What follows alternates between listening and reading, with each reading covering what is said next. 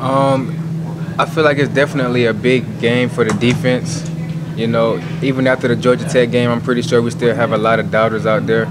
You know, and it's always good to come back week in and week out and just show that you can be consistent with it. So I feel like us having a good game right here showed that we have good consistency.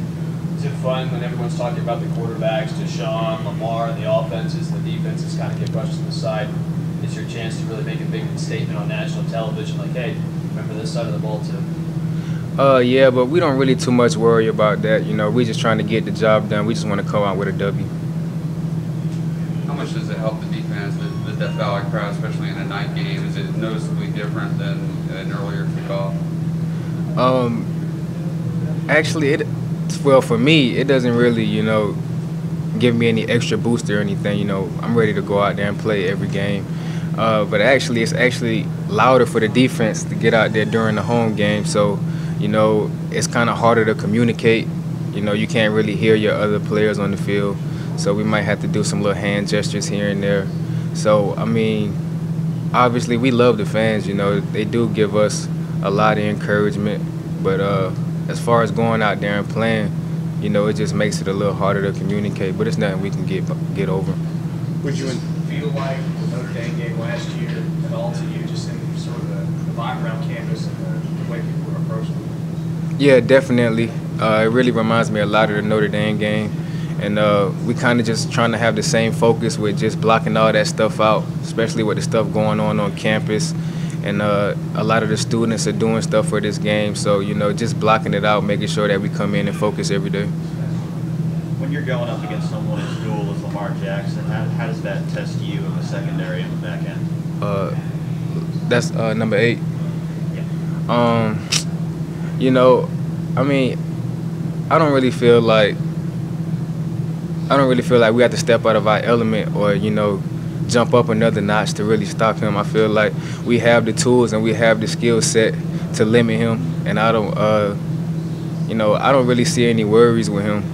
Not saying that he's not a good player. He's definitely a good player. You know, I haven't really seen a quarterback, you know, as versatile as him, but you know, I feel like we have a pretty good defense. So just my confidence in the defense and just us as a whole, us as a whole unit, you know, I don't think it'd be that much of a challenge.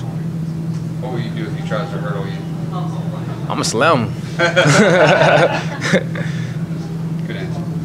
Jadar, when they're putting up 63 against FSU and having big offensive outputs night in, night out, do you guys notice Do you pay attention to it? You start game planning before it as you're looking at other games, more recent games, or are you still focused on hand and, and have confidence in your unit that you don't to worry about? Yeah, I don't really too much worry about the scores of the other games that they've played. You know, um, we're obviously a whole different defense. You know, I don't know what those teams did in their schemes. I don't know what their game plan was going into the game, but um, you know, I'm just real confident in Coach V's game plan for us, and I just want to go out there, you know, and execute it to full ability. And I feel like if we do that, you know, it'll be a different outcome.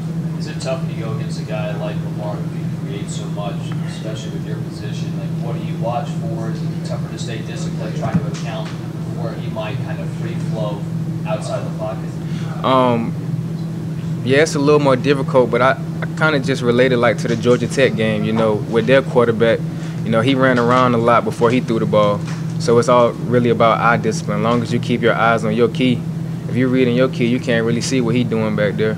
You know, and if he runs around 10 seconds and throw the ball away, as long as you have your eye on your key, you know, you'll be in the right spot. So I don't really feel like it'll have us out of position too much.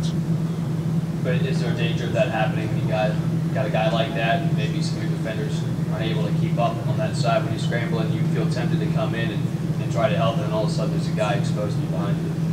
I mean, it could happen. I don't really see it happening with us. Just with us trusting our D line, I feel like we got some stud athletes on the D line.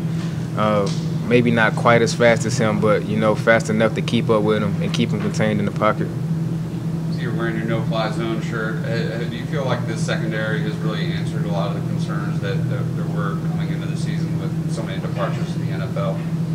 Um, I don't know. I don't really want to speak on that too fast because it's still early in the season, you know. And uh, like I said, I'm a big guy on consistency. So I mean, that'll have to be a question that I have to answer end of the season. you know, to see if we keep it up throughout the whole season. Okay,